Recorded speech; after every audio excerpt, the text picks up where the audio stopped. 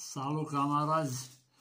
Ehm, astăzi o să vă vorbesc despre un caz special care cred că o să vă intereseze. O să vă arăt cum, din cauza că nu s-a băgat și s-a împiedicat sistematic legea lustrației, care ar fi însemnat ca niciun comunist, securist sau milițian să nu mai intre în politică sau să ocupe vreo funcție, Eh, după 34 de ani de la lovitura de stat eh, caiebistă și a trădătorilor de neam și țară, eh, avem în funcțiile de conducere copiii torționarilor, copiii criminalilor, care au și ei adena, au ADN-ul criminal în sânge, deci nu ne putem aștepta la nimic bun. Vă dau numai câteva exemple. Călin de la Hauer e băiatul torționarului lui Gheorghiu Dej, uh, Teohari Georgescu, care împușca țăranii români că nu vreau să fie sclavii Partidului Comunist și că nu vreau să-și dea mica lor uh, bucată de teren partidului să devină sclavii partidului. Așa, Ă, ăla de la Ministerul Sănătății, îl știți și voi, nu numai că e un curvar și a lăsat nevasta gravidă, o colegă de muncă, i-a lăsat-o gravidă unui angajat, așa și a spart casa, e și băiatul unui alt criminal care omora la fel ca Teohari Georgescu țăranii pe la Arad și vâna partizanii pe munții Făgăraș, că ea nu vreau să fie sclavii bolșevicilor și ai celor cu șorțulețe. O să, deci astea sunt numai două exemple, dar sunt multe, vișinești de ăștia sunt mulți în România, e plin. O să vă vorbesc astăzi despre tatăl lui Liviu Dragnea, care ea era șef de post uh, milițian la, în comuna Gratia din județul Telorman. Uh, între atribuțiile lui, începând cu anii 1962, era și să adune aurul de la țăran, pentru că partidului nu-i convenea ca țăranii să aibă aur, eh, pentru că nu mai aveau proprietăți, nu puteau să aibă firme, nu puteau să facă nimica, atunci își băgau micile lor economii în aur, în cocoșei, cum se zicea pe vremea, adică monezile cocoșei, celebri cocoșei. Când se făcea hora pânsate, securiștii se duceau și îi pozau și după aia îi chema să, că normal, la horă toate fetele și femeile și-au cu salba de cocoșei la gât, știi? Așa era obiceiul, tradiția și după aia securiștii îi luau la omor ca să predea aurul, știți? Așa, ă, tatăl lui Liviu Dragnea îi tortura pe săten ca să spune unde au aurul. Se numea Florian Dragnea.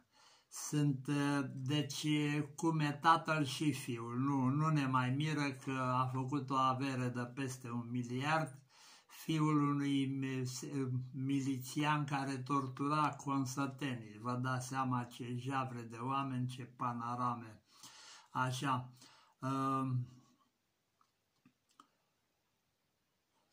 erau femeile, erau chemate la miliție, la șeful de la, la postul de miliție și erau bătute și li se strângeau, li se puneau deștele mâini între uși și să pornea ușa peste, peste dește. Vă dați seama ce durere bestială, plus erau bătute sălbatic până scoteau tot aurul. Înțelegeți? Dacă nu scoteau tot aurul, le mai băga și pe la pușcărie, le trimitea pe la canal, pe undeva, sau pe la gherla, pe la aiut sau la pârnăi de femei. În 1962 uh, s-a născut Liviu Dragnea, Uh, tatălui uh, în epoca aia uh, îi vâna pe țărani ăștia din comună sau din mai multe comune ca să le, să le ia aurul. Dar ce făcea? Fiind milițian și normal că nu putea să-l, să-l controleze nici Gheorghiu Dej, nici Ceaușescu până în comuna aia lor părlită, până la comuna Gratia din județul Telorman, le lua aurul, când scoteau femeile aurul sau bărbații aduceau aurul, dar nu le făcea la toți procese verbale de primire a aurului. De exemplu, uh, am primit, să zicem, 20 de cocoșei de la uh, Stam Păpușe, nu? Sau de la Floarea, Floarea Păpușe, nu? Nu. El, mare parte din aurul ăsta care îl aduna, nu-l trimitea la centru, la direcția miliției, unde se strângea aurul ca să fie dus la Banca Națională, și îl oprea el, adică ne, nefiind proces verbal, oamenii erau terorizați de frică, ziceau boda proste că au scăpat cu viața, știți că 42 uh, de ani în România a fost teroare, teroarea miliției și a securității. Deci, uh, totul era luat de comuniști și de stat, adică aurul ăsta mergea la Banca Națională, o parte s-a mai dat înapoi, o parte s-a furat, o parte a dispărut v-am zis, pentru că situația era așa, de așa natură că țăranul, omul de rând, nu mai avea voie să posede nimic ca să fie sclavul partidului și ca muncitor și ca țăran, uh, oamenii băgau banii în aur ce aveau și acolo. Uh, așa, averea asta s-a lăsat de la părinți la copii și de la copii la nepoți și așa mai departe.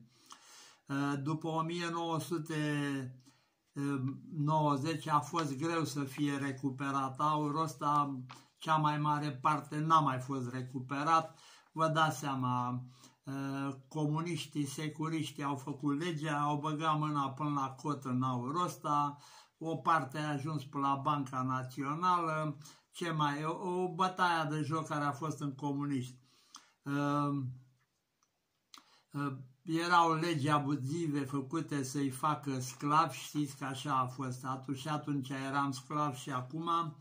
Uh, sursa averii lui Dragnea a fost uh, aurul furat de tasul. Deci um, știți că se zice că orice avere are la bază o crimă.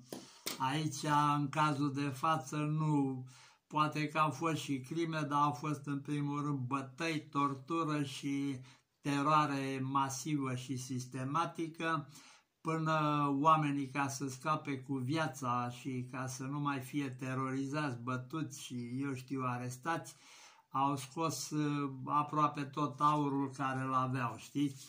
E, uite așa a, a procedat Liviu Dragnea care n-a pornit la drum cu mâna goală, a pornit la drum cu averea care o lăsase tasul furată de la oameni nevinovați, care aveau doar vina că nu vreau să fie sclavii Partidului Comunist și aveau doar vina că vreau să-și lase și ei o parte din mica lor agoniseară sub formă de cocoșei de aur copiilor și nepoților ca să aibă o viață mai bună. Deci v-am zis, nimic nu e așa cum pare, tot ce vedeți voi în politica românească sunt numai lichele, fi de lichele canalii, torționari, criminali și tot felul de reptilieni care nu se mai satură de bani. Uh, vă aștept la comentarii să vă aud părerile. Vă pup cu drag, rămânem precum catarii umăr la umăr. Pa, camarazi!